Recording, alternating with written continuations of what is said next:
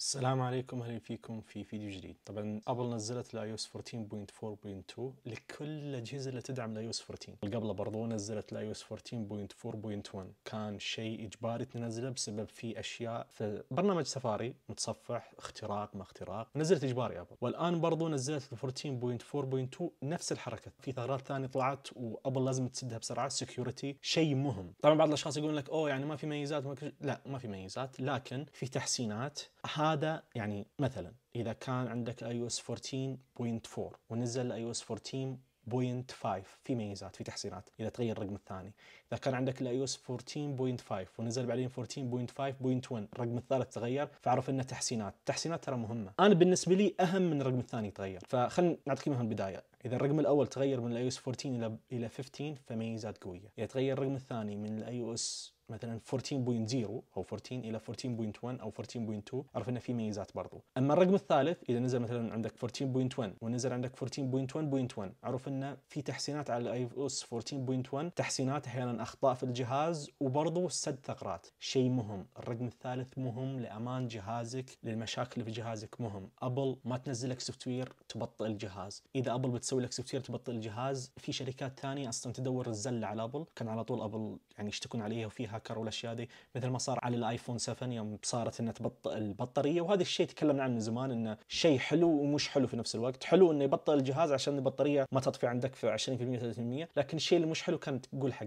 العميل يعني قبل ما تسوي ذا الشيء والعميل عنده الخيار إنه يطفي ويشغله مثل ما الآن صار موجود عندك لو تخش الإعدادات تروح حق البطارية عندك هنا تشوف نسبة البطارية عندك ال health حق البطارية وتشوف إن الجهاز حقك هنا هل يشتغل على أعلى أداء ولا لا. يعني ما لك شغل بالرقم اللي هنا. هنا نزل 70 60 90 100 الرقم هذا لكن تقراه هنا هل أداء جهازك إلى الآن على أداء؟ فاعرف إن الجهاز ما صار بطيء من هنا الخيار هذه الحركة الحلوة اللي حطتها هنا ابل طيب بعض الأشخاص يقول لك أنا جهازي 90% ال health حق البطارية. حدثت الجهاز وصارت 55 طبعا ما راح تصير كذا لكن يعني انقصت. يعني هذا ال soft هذا خرب البطارية عندك؟ لا ما خرب البطارية. الجهاز حقك already انقصت. يعني مثلا أنا جهازي الحين 88 فعليا كشاشة هنا مكتوب 88 لكن الأصل إن نزلت. كان كان الجهاز حقي الحين مثلا مش 88 نقدر نقول 87 85 مثلا قصت لكن ما تغير عندي هنا بسبب إن ال soft ما سوى check ما شيك على البطارية. لكن إذا حدثت الجهاز فوق ما يطلع اللوجو عندك وأبل قاعد العلامة تمشي تحت يرتب الملفات وكل شيء في ذا الوقت يشيك على ال health حق البطارية. وشغلت الجهاز انقصت البطارية. ففعليا مش ال software اللي نقص من أداء البطارية. البطارية حقتك تنقص حتى لو تترك الجهاز زي كذا. ما تستخدمه تنقص البطارية. تطفي الجهاز تنقص البطارية. لكن ما راح تنقص نفس الاستخدام لكن راح تنقص البطارية. البطارية مواد كيميائية في البطارية. بطارية لازم تخترب بطارية السيارة لازم تخترب بطارية الريموت حقك لازم تخترب. كل شيء بالدنيا لازم يخترب في بطارية. بطارية فيها مواد كيميائية لازم تخترب. انت بكيفك عاد تقصر وتطول على كيف استخدامك وانك ما ترفع حرارة الجهاز والأشياء ذي. بس أما كبطارية لازم تخترب. لازم تخترب. حتى لو تترك الجهاز تقفله وتحطه بعيد تخترب لأن البطاريه لها عمر افتراضي. يعني كأنك أنت مثلا الامثال كثيرة جبتك. شريت خبز وحطيته على على الطاولة. أنت ما استخدمته لكن يخترب. لكن إحنا متعودين إن الأشياء دي عند في expire في أشياء ثانية ترى حتى البطارية فيها عمر افتراضي لازم تخترب البطارية. إذا جهازك جلس معك سنة إلى سنتين وبطارية إلى الآن أفضل أداء هذا أنت سويت أفضل شيء في الدنيا خلاص. يعني الآن خلاص لازم تغير البطارية. هذا الشيء الأول. الشيء الثاني برضو بعض الاشخاص يقول لك أوه الجهاز صار بطيء. أبل قاعد تبطئ الجهاز. أبل ما تبطئ الجهاز. أبل تعطيك ميزات جديدة لكن إذا نزلت لك مثلا الحين جهازك الاي 14 عليه واصل جهازك نازل عليه الاي 12 مثلا. طيب نزلت بعدين ميزات جديدة اي 13 بعدين نزلت ميزات بعدها اي 14 بعدين نزلت ميزات جديدة بعدها اي 15 أنت تبي ميزات. ميزات لازم تثقل على المعالج الداخلي. أنت معالجك جهازك أصلا في ذاك الوقت أفضل جهاز موجود أو أفضل معالج موجود. أنت قاعد تنزل ميزات. وما تبي يبطأ كيف تجي؟ دي ما تجي. يعني كأنك أنت عندك سيارة تبي تحط حمولة عليها وما تبيها تصير ثقيلة. ما تجي. دي إذا ما ممكن الجن يعني تتعامل مع الجن يمكن يسوونها لكن كجهاز ما تقدر تسويها. وعادي جهازك قديم مع ال softwareات الجديدة اللي قدام لازم يصير حار. ليش؟ لأن جهازك ثقل softwareات عليه جديدة ثقيلة عليه فلازم يكون حار. لأن كأنك أنت قاعد تلعب في الجهاز قاعد يشتغل بقوة قاعد يسخن كأنك أنت قاعد تسوي أشياء قوية عليه. فهذا شيء طبيعي. الحل أنك تفرمت الجهاز وترجع يعني مثلا تعالى ضبط المصنع وتستخدمه قدام. لكن ما راح يرجع لك نفس ما شريته. شيء طبيعي. تبي ميزات لازم يقل من أداء هذا الشيء. يعني ما في إنسان الآن عنده الآيفون مثلا 6 هذا الآيفون 6 ويقول جهازي صاير بطيء بيقطع ويتفلسف على أشياء ليش الشركة صار جهازك خلاص. جهازك خلص عمره عمر افتراضي خلص جهازك. إلى الآن تستخدم جهاز ويعرف إنك تستخدم حق أشياء خفيفة مرة. ما في إنسان شار الآيفون 6 وقاعد يستخدمه ويبي على ببجي ويبي على الألعاب القوية وما يصير بطيء وما في خلاص. يعني أتوقع العالم ال gaming معروفين كيف كل سنة يحدثون أجهزتهم. والكمبيوتر يركبون لك GPU جديد وما أدري شنو معروفين ذاك العالم. فجهازك عندك gaming عندك الأشياء ذي أنت داخل ذا القطاع ده لازم تصرف فيه. سنتين ثلاث سنوات بالكثير تغير جهازك شيء طبيعي. وتستخدمه كثير عرف إن البطارية راح تخرب بسرعة. gaming وعلى جوالك. إذا خلص سنة معك ممتاز. وأنت قاعد على طول تشحنه وكل الأشياء هذه الثانية. فهذه الأشياء نرجع مرة ثانية معاكم. أتوقع إني طولت على هذه الأشياء. فال modem firmware ما تغير على حسب الجهاز حقك برضو. فما أقدر أقول لكم تغير ولا ما تغير. وأنا كان ال soft اللي على الجهاز هذا أصلا مش ال iOS 14.4.1 كان ال iOS 14.3 فتغير بالنسبة لي من ال 13 إلى ال 4 فنقص ثلاث تحديثات تقريبا.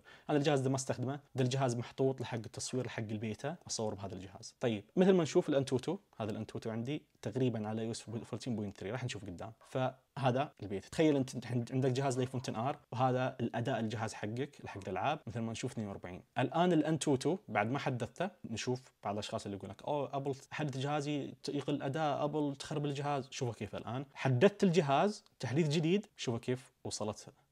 من ال 42 هذا النظام هذا القديم إلى 45 شوفوا كيف. يعني ما أقدر أقول لك إنه لا ما في تحسين. لا في تحسين. من 42 إلى 45 في تحسين. هل لازم تحسه؟ لا مش لازم تحس. في السلاسة راح تكون موجودة. ليش؟ لأنه already قوي هو كاداء لو نشوف ال Geekbench برضو. هذا هنا قبل ما حدثه وبعد ما حدثت هذا على ال software ال iOS 14.3 الآن ال iOS 14.4.2 هذه التغييرات اللي هنا موجودة مثل ما نشوف. ال single core ما في تغيير ال multi core بالقوة في تغيير مثل ما نشوف. هل يعني ابل الحين نزلت نظام جديد قدام؟ عدلت الجهاز عدلت الاداء الجهاز برضه صار سلس أفضل صار حق الالعاب أفضل يكون في الأداء واستخدامك للألعاب مثل ما نشوف. يعني من 19 إلى 28 مثل ما نشوف. يعني كان 1965 إلى 2888 عندي في جهازي هذا. طبعا بالنسبة لي كان هذا يكون أعلى لأن هذا الجهاز مرمي جهاز بارد وكل شيء وما في soft نازل عليه وكل شيء. جهاز مرمي ومن زمان ما حدثته. شغلت الجهاز أنا أستخدمه يعني في التصوير مثل ما قلت لكم. شغلته وسويت له على طول test وهذا ال test الثاني هذا بعد ما حدثته. وبعد ما قاعد يشتغل الجهاز وسخن الجهاز شوي تركته شوي يبرد بس قاعد يشتغل يعني وسويت له. أنا كنت بالنسبة لي كان هذا راح يكون أقل لأن الجهاز انكرف قبل شوي. المهم لو نشوف ال compute. ما سويت إلا مرة للأسف لكن مثل ما نشوف 14.3 هنا. فأسوي وأرجع لكم مرة ثانية. هذا ال iOS 14.3 أسوي لكم الحين على ال iOS 14.4.2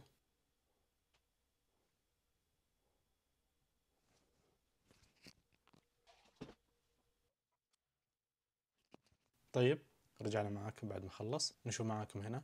في اختلاف في اختلاف بس بسيط. بالنسبة لي هنا ال compute يعني ها على الأداء هنا كان 5287 الحين 5429 برضو في اختلاف بسيط لكن لا تتوقع إنه صار جهازك لا بطيء. صار خربت الشركة جهازك لا. في تحسين يعني كل الأرقام اللي سويتها أنا كلهم فيهم فيهم تحسين فيهم improves كلهم. يعني على الأنتوتو على ال Geekbench استخدامي الخفيف هنا مع إني ما أستخدم كثير الجهاز صح لكن حاط لي مثلا سناب شات الخاص فيني هنا. أشياء ثانية في التصوير ما تصوير رسائل بعض الأشياء. أستخدمه يعني مثل ما نقول مش يوميا لكن ما شفت فرق الآن. استخدام جهاز عادل يعني. فبس هذا كل شيء اللي نزل هنا. وبرضه طبعا نزل حق الابل واتش برضو تحديث أمني 7.3.2 فأتمنى كل شخص أتمنى كل شخص أتمنى كل شخص مهتم في جهازه مهتم في الأمان يحدث حق هذا ال software أنا بالنسبة لي ما أقول حق أي شخص يحدث حق نظام جديد إلا للأنظمة اللي فيهم secure للأنظمة اللي فيهم سد ثغرات. الأسبوع الجاي والاسبوع اللي بعده إذا نزل iOS 14.5 ما يحتاج تحدث لا تحدث عادي خلك على ال software اللي عندك ال iOS 14.4.2